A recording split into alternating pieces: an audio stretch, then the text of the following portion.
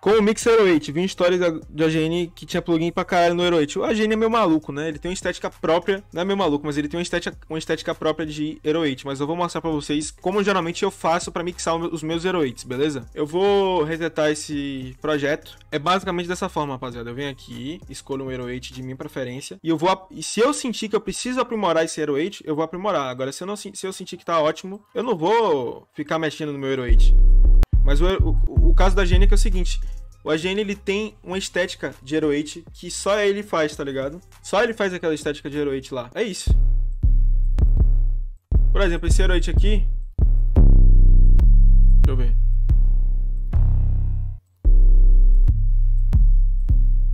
O bom é você partir do princípio de um, de um Hero que você goste muito, tá ligado? Então, por exemplo, eu vou mostrar aqui pra você. Eu vou pegar um Hero um Spin 08.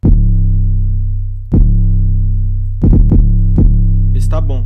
Primeira coisa que eu faço, como ele tem uma duração muito alta, mano, esse Hero 8, primeira coisa que eu faço é mexer um pouco na duração. Eu vou fazer uma melodia aqui rápida, só pra gente ver como é que eu mixo essa parada. Eu vou botar o Hero 8 numa, numa linha bem simples, mano, só pra gente entender como é que eu parto o princípio pra mixar um Hero 8, tá ligado? E o que, é que eu vou fazer? Primeiro eu vou controlar o tamanho dele. Vou aqui no Envelope, eu vou diminuir bastante o tamanho desse Hero 8.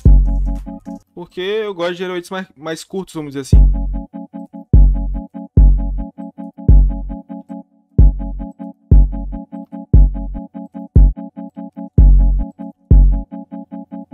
Esse heroete, ele tá meio que já agradável pra mim, tá ligado? E aí eu começo a ver o que, que ele precisa. Ele tá precisando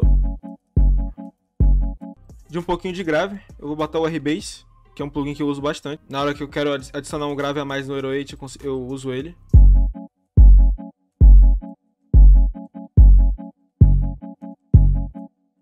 Eu gostei aqui, mano. Não sei porquê.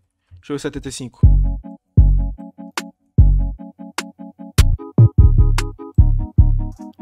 E aí, pra brincar um pouco, eu vou colocar uns Fruit Soft Clipper, tá ligado?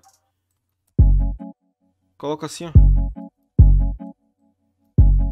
E aí, o que, que eu faço, mano? Antes do Soft Clipper, eu vou colocar um... Talvez um Sausage Fat, né?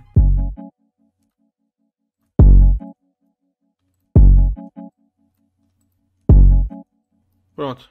E aí, o que, que eu faço agora, mano? Eu vou colocar um equalizador aqui chamado... Pode ser qualquer um, mas eu vou usar um mono chamado PlugTech EQP1A. Eu vou colocar em 10 kHz e vou boostar em 10 kHz, mano. Olha como ele adiciona brilho.